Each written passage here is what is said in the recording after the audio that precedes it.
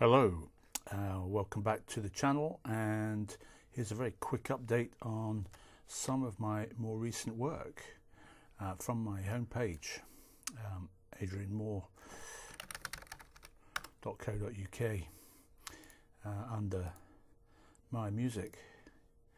You can find two new soundscape works one from the Hepworth Gallery near Wakefield and one from the Kelham Island Museum, uh, just down the road from where I work in sunny Sheffield.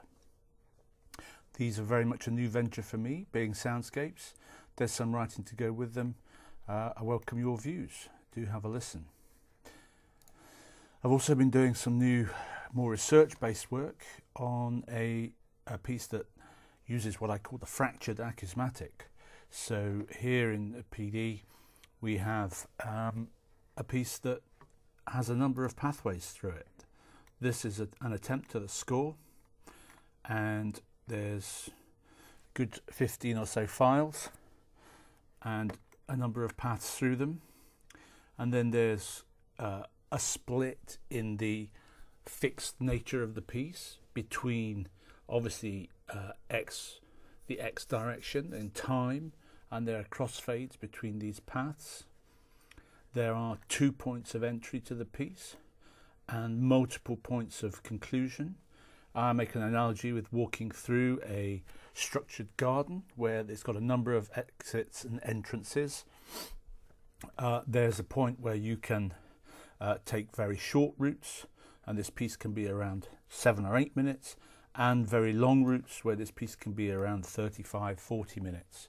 There's also a route that takes you back in a complete loop, um, which, uh, as I said, this path is just for laughs. So you could continue ad infinitum. Um, but there's also uh, fracturing in the y direction in terms of a number of tracks that you have. And so if we look at some tracks, we've got um, representations of an eight channel track, and that sometimes is a very traditional um, backing drone over which stereo files are then diffused. Um, uh, it can be at one point three stereo tracks, uh, and it can be um, a number of stereo tracks where the split in the acousmatic composition is less discernible. It's not like a stem where one is sustained and one is active. It's actually sometimes quite difficult to know which stereo track you're influencing. So there's a little bit more freedom for the performer to learn the piece and make decisions over and above um, amplitude shaping that they would do with a traditional diffusion work. I'm using a Behringer uh, fader box. So I have um, channels 1 to 8. Uh, it's just 8 channel.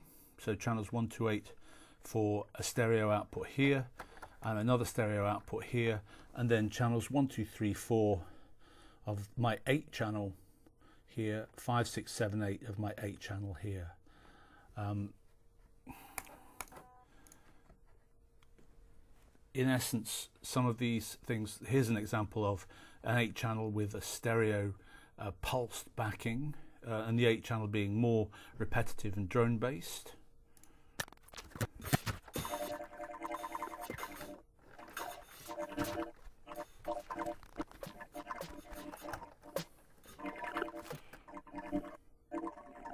So you're hearing just channels 1 and 2 right now of the 8 channel mix, but that's pulsing around.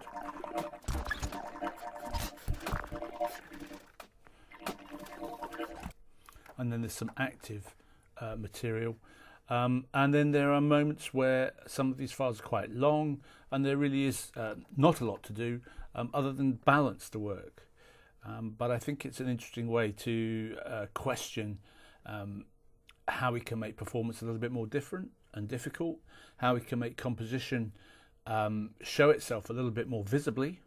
Um, because some of these things, this Dense Garden 1 and Dense Garden 2, they both start in the same way, but they go in different directions. And that's because I composed them on two different weeks from the same sort of starting point, but moved in different directions and they have different directions in the piece. In fact, this leads to a termination. You won't be going any further if you once you've selected this particular sound file.